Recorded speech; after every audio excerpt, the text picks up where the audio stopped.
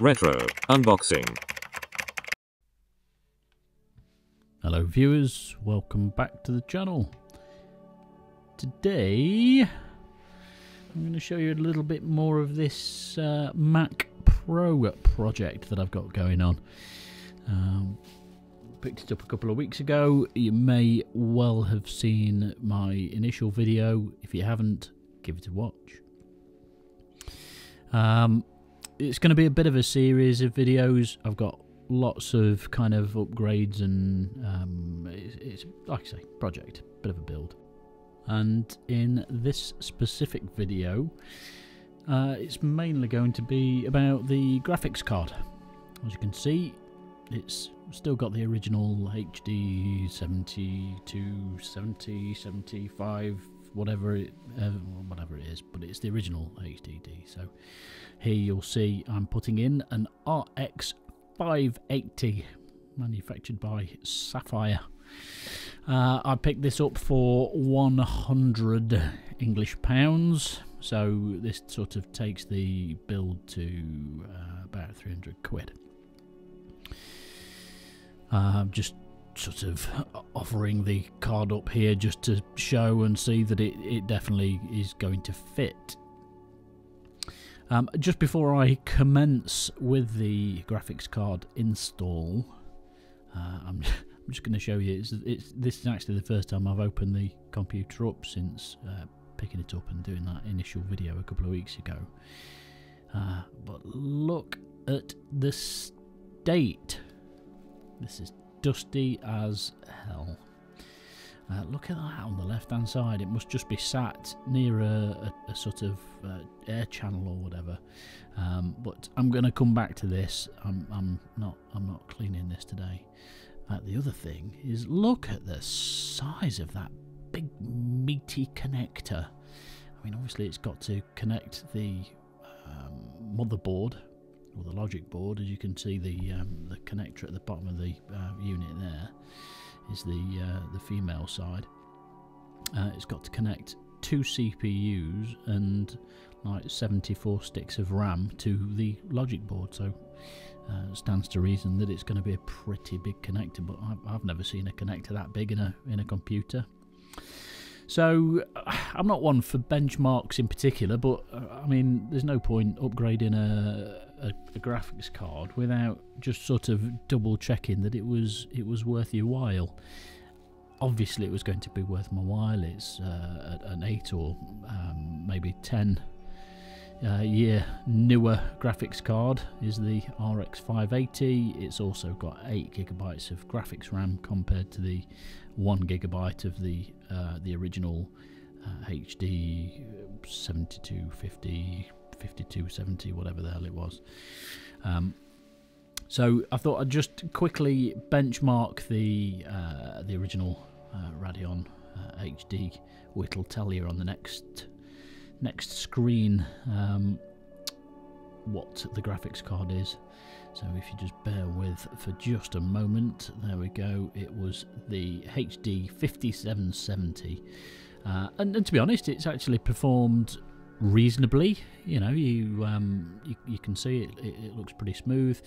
25 FPS is not what you'd call great, um, but you'd be able to run some games at 720, maybe uh, 1080p with some uh, lower settings. But um, anyway, that's that's out with the old and uh, and we're going to be in with the new very shortly.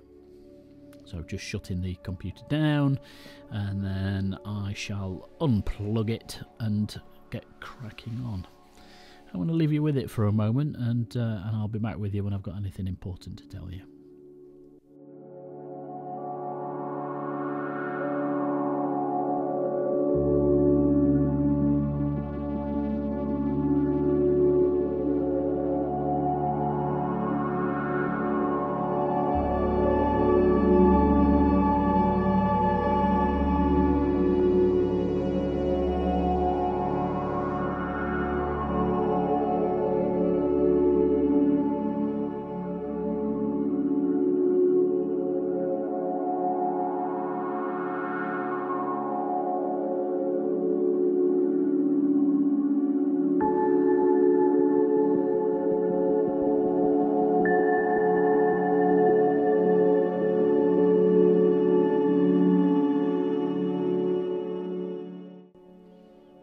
Honestly, there's no real reason or need to uh, pull the hard drive caddies out there, but just gives you that little bit more room to work.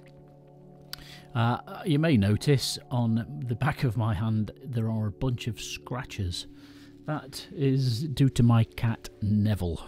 He, uh, he likes a little fight every now and again, and uh, he scratched the shit out of my hand the other day, and uh, it's actually now now I've come to uh, record the voiceover. It's, it's those scratches are mostly gone; they're just a bit scabby. But uh, yes, that's Neville, my little bastard cat.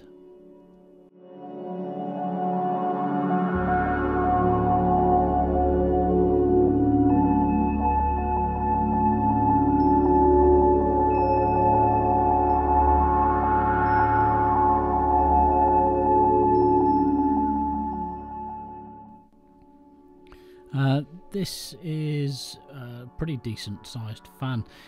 I don't think there's any real need to uh, to take this out during this process, but I kind of felt that it just again same with the hard drive caddies just gave you that little bit more room to get your hand uh, in there and, and do what you need to do. I also just took the opportunity, as you can see, to just give it a bit of a bit of a clean and a wipe down. Um, strangely looked like someone had spilt some tea on it um, but th- there wasn't really that much in the way of dust uh, so that's that's good. Uh, and that fan actually sits at the front uh, of the of the Mac uh, which is probably why it's got tea down it or something. Uh, at this point I realised that you know moron that I am uh, you can see the uh, ironic look on my face that uh, I'd left the DVI pu- uh, plug uh, plugged into the uh, into the graphics card like a tool.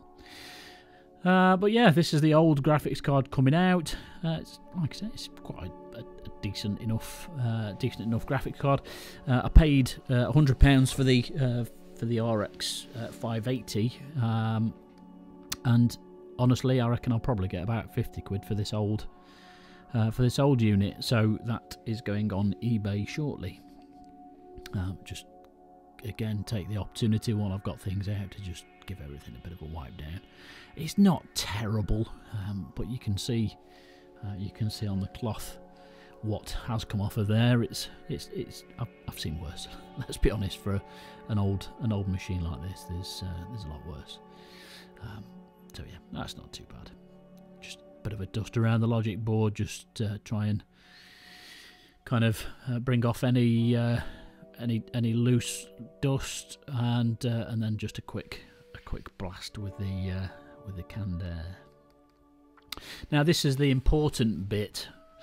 So newer and sort of more power hungry graphics cards uh, do need well more more cableage and specifically, uh, you need the uh, six pin mini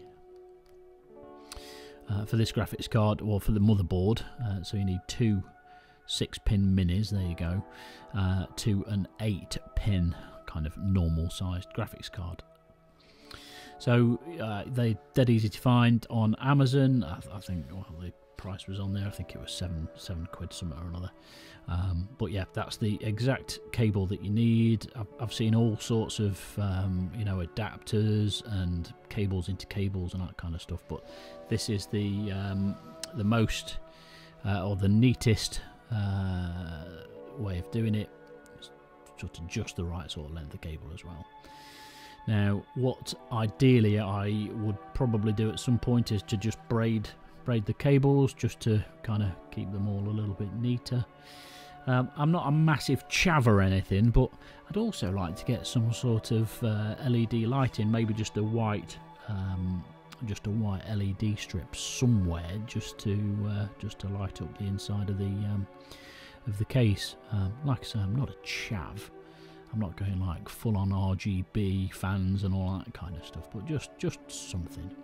Now I did have a bit of a, a bit of a um, bit of a wrangle getting the um, getting the graphics card seated properly and pushed into the um, PCI slot. Uh, but I managed in the end. It's just just a case of uh, being being a little bit cautious, but you've, you've got to give it a bit of a shove to get it into the slot because they are, uh, you know, they by nature they do sort of have a bit of a tight fit. So just putting the fan back in, and, uh, and I'll leave you to it for a moment.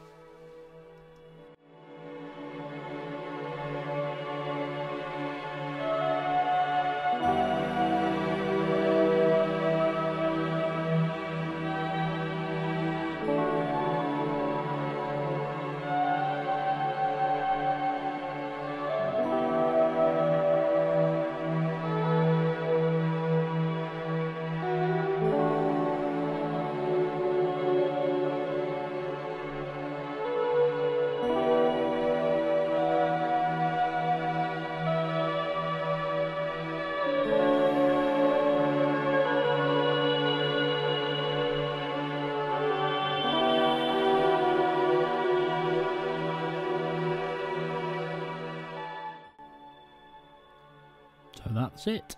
The card is in.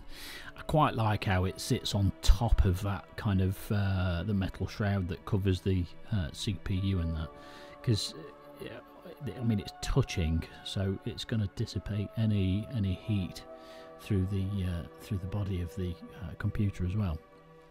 Now, at this point, you uh, well, this is my second stupid uh, for the day.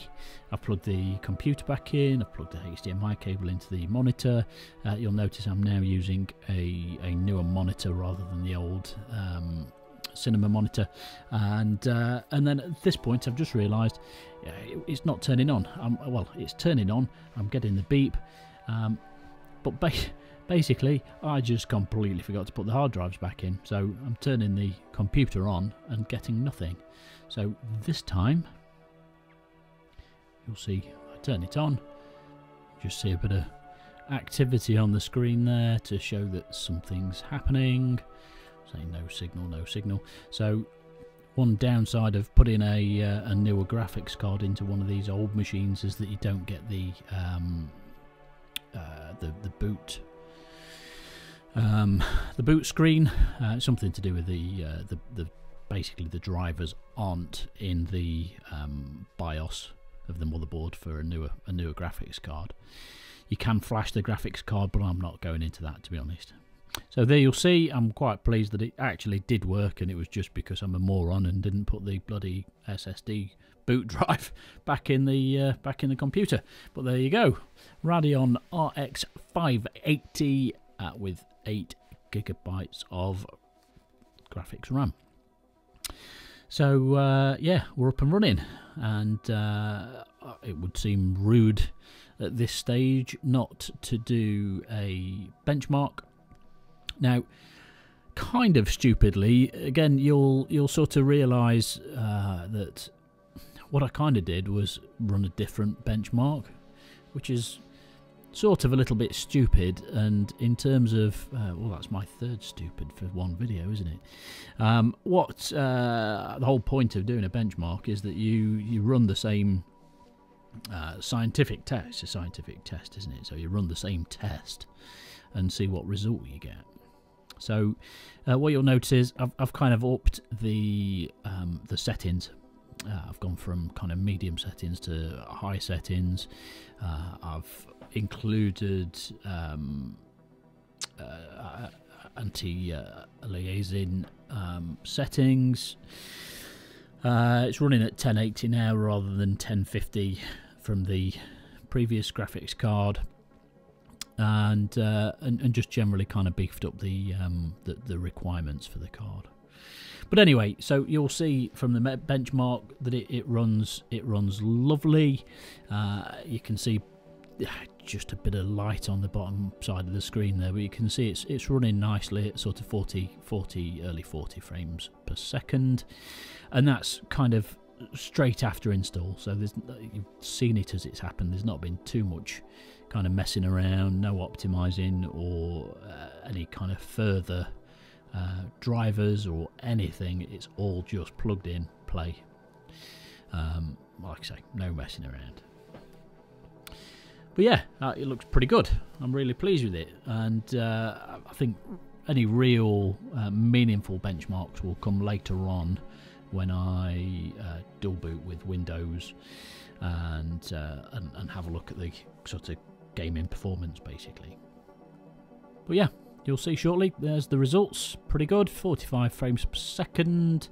Although one thing I've only just noticed as I've come to do this voiceover is if you look at the uh, GPU there, RX 580, it's only showing 256 megs of graphics RAM rather than the uh, 8 gig. Anyway, uh, that's kind of coming towards the end of this video now. Um, uh, the next thing I'm going to concentrate on is storage and because uh, you can see here this is with the um, SSD um, it's it's pretty slow in terms of speed. Now after putting the uh, new graphics card in it's done a firmware upgrade.